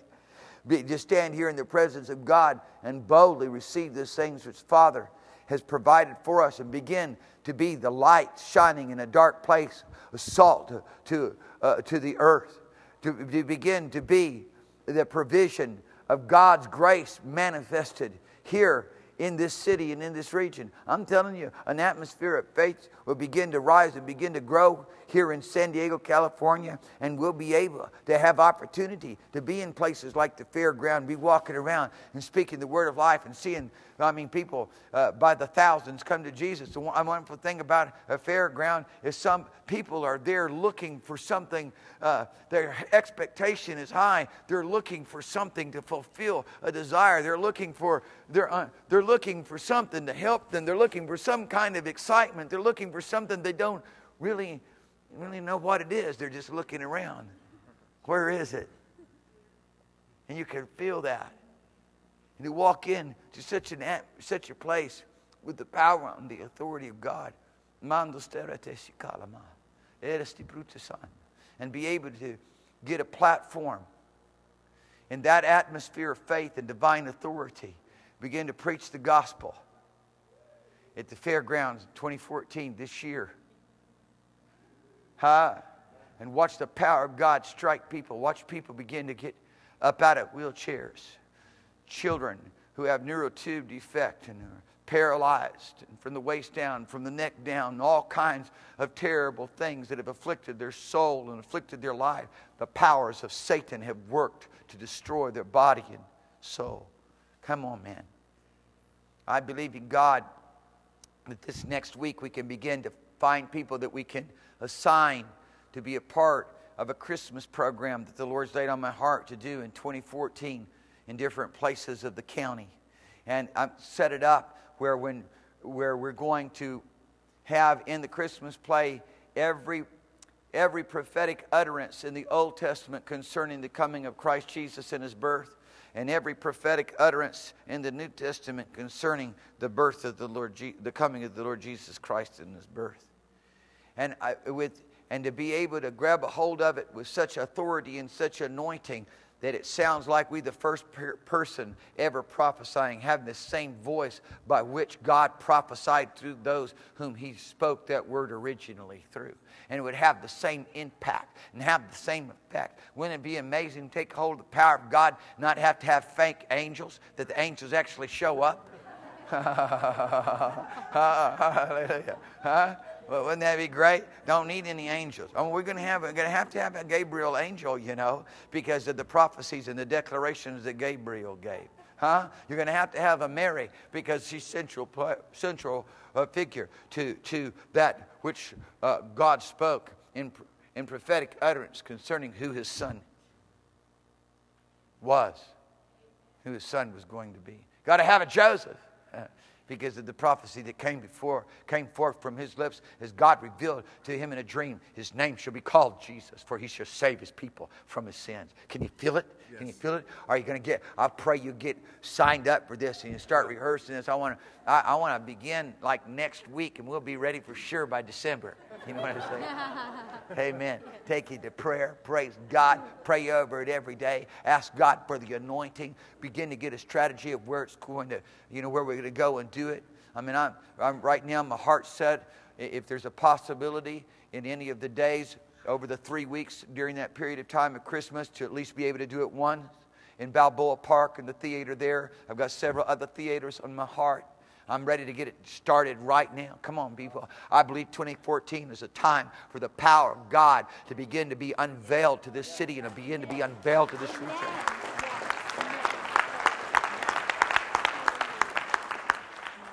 The Lord doesn't care. The Lord's not picky about how he, who he uses. He's just looking for anybody who's willing. Scripture says his eyes go to and fro looking for someone who he can show himself mighty on their behalf. Someone who's willing to believe. He said, All authority is given to me in heaven and earth. Will you go? Will you believe? Will you cooperate with me? Come on, let's start dreaming. Let's start getting a vision. Let's start planning big. You, mean, you need to look around. You need to see what area God sets you in. What's your area of influence? You're going to have to be willing to hug the cross and lay down your life. You're going to have to, you're going to, have to be willing to, to run through the troop of fear and intimidation of men. You have to begin to fully exercise the divine authority that's been given to you and recognize that Satan is paralyzed the moment you begin to speak he goes completely paralyzed. He can't do his work. As long as you keep your mouth shut and you're intimidated by his lies, he's active. He's at, he, he has authority. As soon as you say, No more will you push me down, no more will you hinder me, no more will you keep my mouth shut. There are people come into this place, and I watch them. They don't really enter into praise and worship. Their mouth is closed, and it's a manifestation of how you live. Everything about our life is a manifestation of how we live we can't open up our mouth and begin to boldly proclaim these things of the Lord. Satan has put a gag order on us. Meanwhile, he begins to influence the culture and the society around us to the point that now it's written in law right now here in this state transgender bathrooms for elementary school kids. It just goes, goes on and on, and on unbelievable state. What are we doing here? Somebody's going to have to start moving. Somebody's going to have to start recognizing this ain't about the legislative and judicial system of men. This is about dealing with principalities and spiritual wickedness. It's about a church that's abdicated its position of power and authority. And the church needs to have revival. Yes. And the first part of revival is where God's people begin to consecrate themselves to live only for Him, to no longer allow the powers and the influence of a satanic realm to take control and authority over their life and mandate to them their iniquity. God set you free. You've clean escaped, completely escaped. All that Satan has purposed to do, destroy your soul. Now rise up. Now rise up in Jesus' name. Now rise up in Jesus' name. In the mighty name of Jesus. Hallelujah. Hallelujah.